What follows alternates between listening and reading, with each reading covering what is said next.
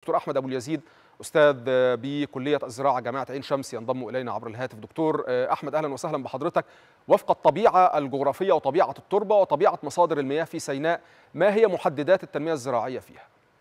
أهلا وسهلا بحضرتك والساده المشاهدين طبعا محافظة سيناء سواء في الجنوب أو في الشمال بتلقى اهتمام كبير جدا من الحكومة وذلك في الآونة الأخيرة على الأخص في الأربع سنوات اللي فاتوا. إحنا شفنا مشروعات تنميه حقيقية على أرض الواقع. آه هذه المشروعات حضرتك بتستفيد من الموارد الطبيعية اللي بتمتاز بيها آه محافظة سيناء.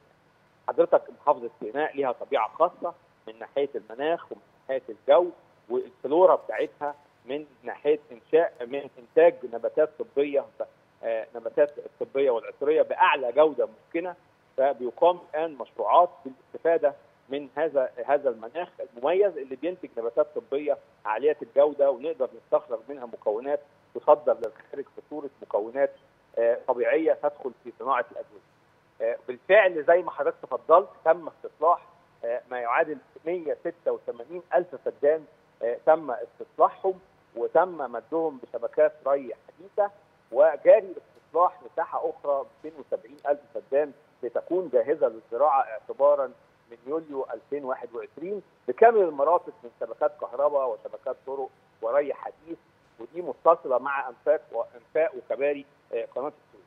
دكتور أحمد هناك قطاع كامل لديكم اسمه قطاع الزراعات الصحراوية كما سمعنا وفهمنا دوما ما الذي يختص به هذا العلم بالتعامل مع التنمية الزراعية في سيناء سواء كان على مستوى الزراعات الأكثر قابلية لهذه الأرض أو الزراعات التي قد لا تتعامل مع كميات مياه كبيرة وتهدر ربما في طاقات أوفر.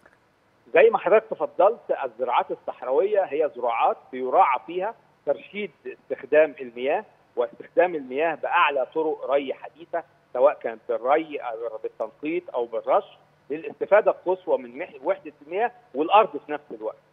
وزراعه النباتات اللي هي ليها طبيعة خاصة وتجود في هذا الجو زي ما قلنا المحاصيل اللي هي خاصة بالنباتات الطبية والعطريه وأيضا هناك خطة في الاستصلاح اللي خاص ب 270 ألف فدان اللي هتبقى جاهزة من يوليو لزراعتها بمحاصيل استراتيجية زي ما حضرتك تفضلت سواء حبوب أو بقوليات أو قمح وفول سوداني. مشروع ترعه السلام اللي بيتم فيه التوسع الزراعي حاليا تم إضافة حوالي 620 ألف فدان هتروى بمياه خلط بمياه صرف زراعي صرف زراعي معالج.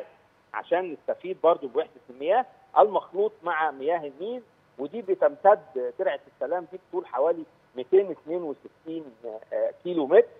وزي ما شفنا برضو إن هذه المنطقة بتحظى بجانب اهتمام من الدولة للزراعات المحمية.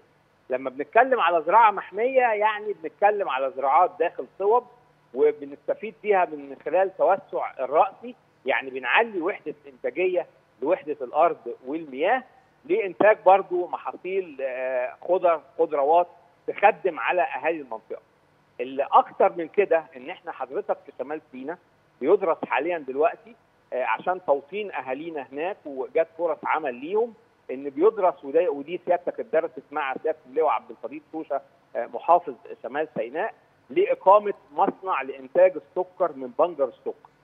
هذه المنطقة لها ميزة نسبية في زراعة محصول بنجر السكر فبنبشر أهالينا في محافظة شمال سيناء سيتم زراعة مساحة كبيرة جدا تتخطى حوالي 100 100 من 120 ل 130 طب دكتور أحمد أنا أنا في يعني أنا تبقى أمامي أقل من دقيقة وأتمنى أن تجيب حضرتك على الموروث التاريخي لدى المواطنين في شمال سيناء تحديدا مرتبط بزراعة الزيتون والتمور. هل تمام. يمكن أن نحدث نقله أو طفرة في هذين الزراعتين؟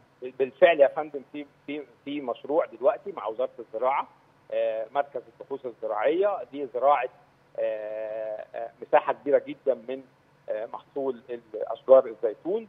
سواء لاستخراج الزيت لأن له ليها ميزة إنه بيطلع زيت له صفات وخصائص مميزة. نعم. علاوة على مشروعات برضه الثروة السمكية اللي تمت في محافظة جنوب سيناء من انشاء مزارع سمكية آه هناك وأيضا مزارع تابعة لمركز البحوث الزراعية نعم. في مدينة نويبع. وبرضه حاجة ثانية بنستفيد في حضرتك بالميزه النسبية اللي موجودة في جنوب سيناء من ناحية انخفاض درجة الحراره في سانت كاترين. لإنتاج بعض أنواع التقاوي اللي لا تجود إلا في جو حرارة منخفضة زي. تقاوي بنجر السكر وده مشروع جديد جدا آه، لأول مرة يتم في مصر من حوالي نعم. آه، خمس سنوات فبرضه هيبقى حاجة مبشرة إن شاء الله ما كانش بينتج في أي حتة تاني لكن في منطقة جنوب سيناء في سانت كاترين آه، لها ميزة نسبية من خلال انخفاض درجه الحرارة نقدر ننتج منها هذه النوعية من الكائنات شكرا جزيلا لحضرتك دكتور أحمد أبو اليزيد الأستاذ بكلية الزراعة جامعة عين شمس منضما إلينا عبر الهاتف